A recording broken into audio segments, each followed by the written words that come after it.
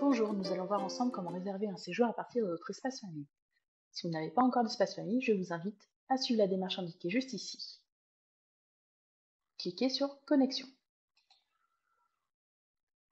Sur votre page d'accueil, cliquez sur Demande séjour. Vous verrez ici la liste des enfants de votre foyer. Je souhaite inscrire Jules. Un rappel des modalités de réservation en ligne vous est indiqué juste ici. Dans un premier temps, nous allons demander à accéder aux réservations, puis faire les réservations. Cliquez sur Commencer. Je souhaite accéder à la réservation des séjours pour Jules. Allez à l'étape 2. Puis je valide. Votre demande a été prise en compte. Je peux maintenant accéder directement aux réservations des, séjours en cliquant ici.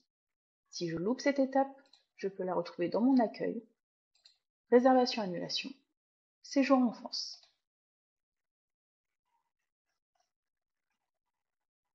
Pour les réservations, un seul choix est possible, soit sur liste principale, soit sur liste d'attente.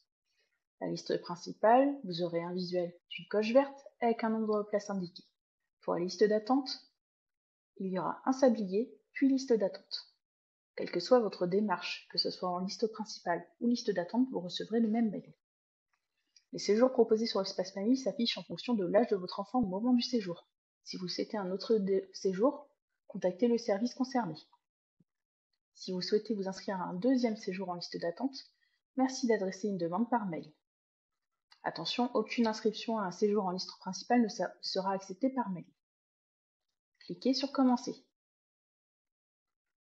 je retrouve Julie ici, je vérifie bien sa coche, puis aller à l'étape 2. Vous visualisez les séjours par semaine. Je peux défiler en cliquant sur la flèche. Je souhaite l'inscrire au séjour Moyen-Âge. Je clique sur la croix. Il m'est indiqué le séjour, que le séjour fait partie d'un ensemble de dates. Je confirme en cliquant sur oui